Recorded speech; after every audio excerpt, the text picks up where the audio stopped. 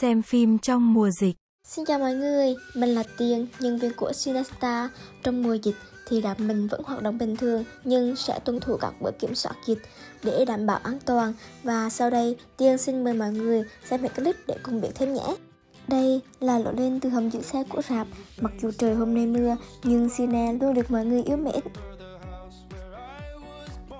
Trước khi mua vé xem phim, nhân viên sẽ hướng dẫn cho khách quét mã QR và rửa tay sát khuẩn nè.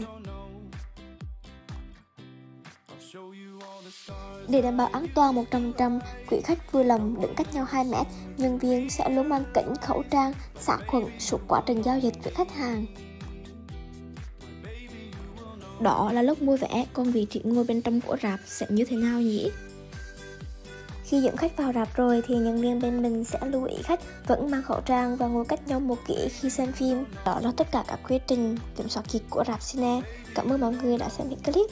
Xem phim an toàn, chống dịch cùng cine star.